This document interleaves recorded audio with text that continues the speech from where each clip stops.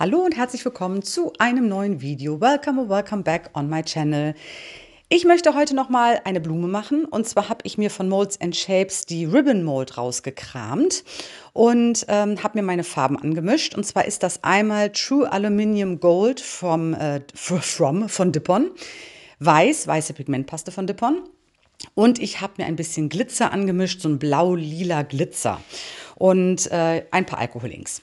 So today I want to do um, kind of one big flower. I got the ribbon mold from Molds and Shapes. I got um, my colors, the true aluminium gold pigment paste, white pigment paste, and I got some glitter. So if you are in the US, this glitter is from Laura's Art Corner. Check out her website. This um, blue purple one is, I think it's called Mermaid Tail Glitter. And I got some gold beads. And I will start with pouring an outer ring. Ich fange also jetzt an mit diesem äußeren Ring. Aber ich muss euch jetzt schon direkt was erzählen. Das ist mir noch nie passiert. Mein Tisch ist in Waage, meine Form ist in Waage. Und ich habe bis heute keine Ahnung, warum das passiert ist. Ihr werdet es nachher sehen. Die Blume ist komplett gewandert. Und ich hätte natürlich diese Goldkügelchen als Center weglassen sollen, weil die sind natürlich schwer, die bleiben in der Mitte, da wo ich sie hingemacht habe. Dadurch, dass aber die Blume gewandert ist, sind natürlich diese Goldkügelchen nicht mehr in der Mitte. Nichtsdestotrotz ist das Ergebnis trotzdem schön geworden. Deswegen, ich zeige es euch zum Schluss auch. Aber komische Sache, was da passiert ist, keine Ahnung. So at this point, I have to tell you something which never happened to me before. My table is leveled, my mold is leveled, and I still don't have a clue. My flower kind of moved completely. And um, I should um, I should have made my center without these uh, gold beads because they are kind of heavy and they stay in place. So they stayed in the center, but my flower moved. So in the end result, my little gold beads are off center. I will show you the end result. You will see what I mean later. But it's it's kind of funny because that never happened to me before. Okay, I will start pouring an outer ring with my glitter. It's just an amazing purple, bluish, teal color glitter. Um, and then I will fill up my mold. Ich fange also an mit dem äußeren Rand, mit dem Glitzer und dann füllen wir das Ganze erstmal mit klarem Harz auf. So, nachdem wir die Bläschen entfernt haben mit dem Heißluftföhn, ihr wisst, solche Teile mache ich gerne ein bisschen schneller, damit es für euch nicht so langweilig ist, machen wir jetzt mit diesen kleinen Goldkügelchen die Mitte. So after I removed all the bubbles with my heat gun, uh, I sped up this part because it's kind of boring for you, so that's why. We can start with the center and I'm just adding some of those gold beads, um, spreading them around so that I have a nice round center, which is in the end result not a center anymore. And then we can start with um, dropping inks. Also die Mitte, die nachher keine Mitte mehr ist. Und dann fangen wir mit den Alkoholinks an. Einmal kurz noch die Bläschen wegmachen. Es steigen immer noch Bläschen nachher auf. Deswegen mache ich die jetzt einmal kurz weg. Ich habe seid immer vorsichtig mit dem Bunsenbrenner, dass ihr euch die Form nicht verbrennt oder das Harz nicht verbrennt. Meiner ist wirklich, das ist ein kleiner Bunsenbrenner auf niedrigster Stufe. So always be careful with the torch, so you can easily burn your mold or your um, resin. I have a really small torch on the lowest flame and I just give it a quick torch. I don't stay at one place. I always move around, removing any bubbles and then we can start with the inks.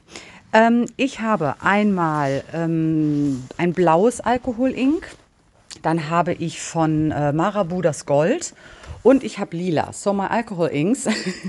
Hier ist mir der Deckel natürlich erstmal ins Harz geflogen. Super Ding. Es gibt so Tage, ne? Um, yeah, I have my blue alcohol ink, the Marabu Gold, and I have a purple one, and I just yeah, flipped my um, my cap of my alcohol inks into my resin. It's uh, there. Are, some days are like, well, you know those days, right? Okay, just cleaning up this cap because I cannot put it back onto my alcohol ink bottle because when the resin cures, you will never be able to open that bottle again. Ich musste jetzt erstmal natürlich diese Kappe sauber machen, weil wenn ich das natürlich drauf mache, und das Harz härtet aus, kriege ich das nie wieder auf. Gut, jetzt aber das Blau und dann machen wir noch ein bisschen Lila. Ich mache nicht zu viele Alkohol-Inks rein. Ach nee, ich nehme, ich nehme noch ein Türkis. Entschuldigung, I forgot. This is kind of a teal color as well. So blue, teal and purple. I'm not dropping too much alcohol inks. I just want to have a little bit color in my mold, but um, it shouldn't be overloaded. Ich mache also jetzt immer nur so ein bisschen Alkoholink rein, nicht zu viele Tropfen. Ich verswirle das jetzt. Ich möchte nicht, dass die ganze Oberfläche so komplett bedeckt ist. Man soll ja auch noch die Farben sehen. Und jetzt mit meinem Silikonpinselchen einmal ein bisschen verteilen, einmal einen schönen Kreis ziehen. Ich finde das immer ganz schön, wenn die Farben sich so ineinander etwas mischen. So I just go in with my silicone tool and just make a circle and kind of blend those colors. I really like it when the colors are blended. At least in this design, sometimes it's nice if you have like little color areas which are not blended at all. But uh, in this case, I wanted to blend the colors a little bit. And now I can go in with my white. Ähm, ja, jetzt sind wir fertig und ich kann jetzt mit meinem Weiß reingehen. Ich räume erstmal gerade alle Sachen beiseite, damit ich nicht irgendwas wieder umschmeiße oder wieder irgendwas ins Harz fallen lasse. Ich kenne mich ja, manchmal bin ich ein bisschen schusselig. Und dann können wir starten. So I just put everything aside because sometimes I'm a little bit goofy. There you can see it. Um, sometimes I just tend to, oh, well, kind of push everything around and some things uh, fall into my resin and I was just afraid that I drop anything again in my mold. So that's why I put everything aside and now we can go in with the colors. Um, this is my gold, my true aluminium gold, and I thought I will do kind of a flower design, basically just perfectly poured. Äh, ich habe jetzt erstmal angefangen mit dem Gold und wollte so ein Blumendesign machen und dann fiel mir ein, das gefällt mir eigentlich überhaupt nicht. Also gehe ich jetzt in, äh, in einer Spirale rein. I really, really didn't like this kind of flower petal design, which I just poured with the gold. So I decided to just go in in a spiral motion and draw my petals later on. Hopefully that this gold, which I just poured first, won't sink. Ich habe natürlich ein bisschen Angst gehabt, dass wenn ich jetzt alles über dieses Gold gieße, dass mir das Gold nachher absinkt. Aber ich mochte es halt überhaupt nicht leiden. Also verteile ich erstmal munter mein Weiß und mache das gleiche dann noch munter mit meinem Gold. So I just go in with my white, doing a circle and again and again and again. And now the same process with my gold, just going in with a spiral motion, spreading this out and uh, yeah, that's it. And now we can draw the petal design with um, my silicone tool. I just kind of smooth out some areas where I think I might can get blobs. especially in this uh, perfectly shaped flower, which I poured first. ja, gerade diese Blume, die ich da gegossen habe, diese wunderschöne, die mache ich, die, die verteile ich so ein bisschen. Und jetzt, ähm, ja, forme ich mir ein bisschen meine Blüte, einfach von außen nach innen. So I just go from the outside uh, to the inside and then a little swirl in the center, I guess. Oh no, I just make some more petals some smaller ones in the middle area. Ich gehe also jetzt noch mal in der Mitte so ein bisschen hin und mache mir da so ein paar äh, Blätter rein. Ich versuche das einfach mal ein bisschen anders zu machen, als immer nur von außen nach innen und innen nach außen. I just wanted to do it a little bit differently than usual, so not just from the outside to the inside and inside to the outside. That's why I just made some more petals in this inner area. Well, you know what I mean. And then I will go from um, inside to the outside in this kind of outer ring. Ich gehe also jetzt an diesem äußeren Bereich nochmal von innen nach außen und füge, genau, ein Swirl in der Mitte, a Swirl in the center. Und dann gucke ich nochmal, wo sind noch irgendwelche Stellen, die so gar keine Farbe haben, wo möchte ich vielleicht noch ein bisschen weiß haben oder wo fehlt noch ein bisschen Gold. Und das füge ich dann noch hinzu. So now I'm just checking my flower design um, is there any negative space I want to fill up with white or with gold? So I just go in and uh, fill up those kind of negative space areas and then we are ready.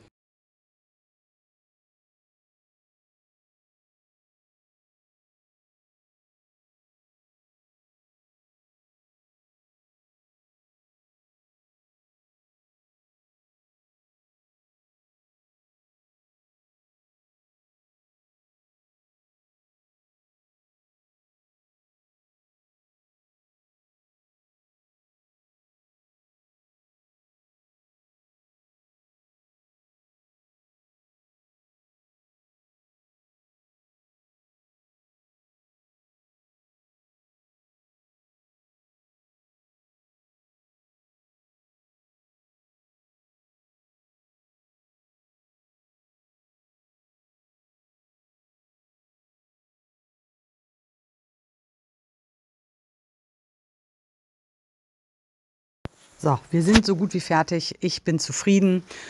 Und jetzt zeige ich euch das, was ungefähr, ja, 15 Minuten später passiert ist. So, almost ready. And uh, yeah, now I will show you what happened.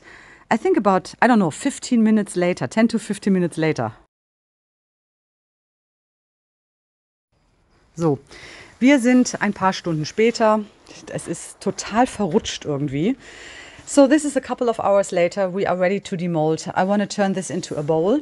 My resin is still really, really bendy, so I have to be careful. Also wir können das Ganze jetzt in eine Schale formen. Mein Harz ist aber noch relativ weich und sehr biegsam, deswegen muss ich vorsichtig sein. Das Ergebnis finde ich super schön, nur eben diese Mitte, diese verrutschte, die ärgert mich. So I really like the result. I think it, it turned out quite pretty. I just I just don't like this gold bead center because it's off center. That's why I decided to turn my bowl, not the gold beads in the center, I will shape it a little bit differently than usual. Ich entscheide mich also jetzt, das Ganze ein bisschen anders zu formen als sonst. Ich nehme also nicht die Gold Beads, die ja wirklich in der Mitte sind, in die Mitte, sondern ich nehme die verrutschte Blume in die Mitte und habe an der einen Seite einen höheren Rand und an der anderen Seite einen etwas niedrigeren, so ein bisschen asymmetrisch, weil ich dachte, da machst du halt mal was anderes draus. So I shaped it a little bit. Well, kind of I took the center of my off-centered flower and I pushed it in my bowl. So I have kind of a bigger rim on the one side and a smaller on the other side. I hope it makes sense what I'm talking about in English, but you will see in the end result what I mean. I just shaped it differently. Let this cure and then I will show you the finished result. Ich lasse das jetzt aushärten, dann zeige ich euch das Ergebnis. Und ich hoffe, es hat euch trotzdem gefallen. Und ihr hinterlasst mir einen Daumen hoch und gerne ein Abo auf meinem Kanal. Und wir sehen uns im nächsten Video. So I hope you liked the video, even though it's not a perfect result. Leave me a thumbs up, subscribe to my channel, and I see you in the next video.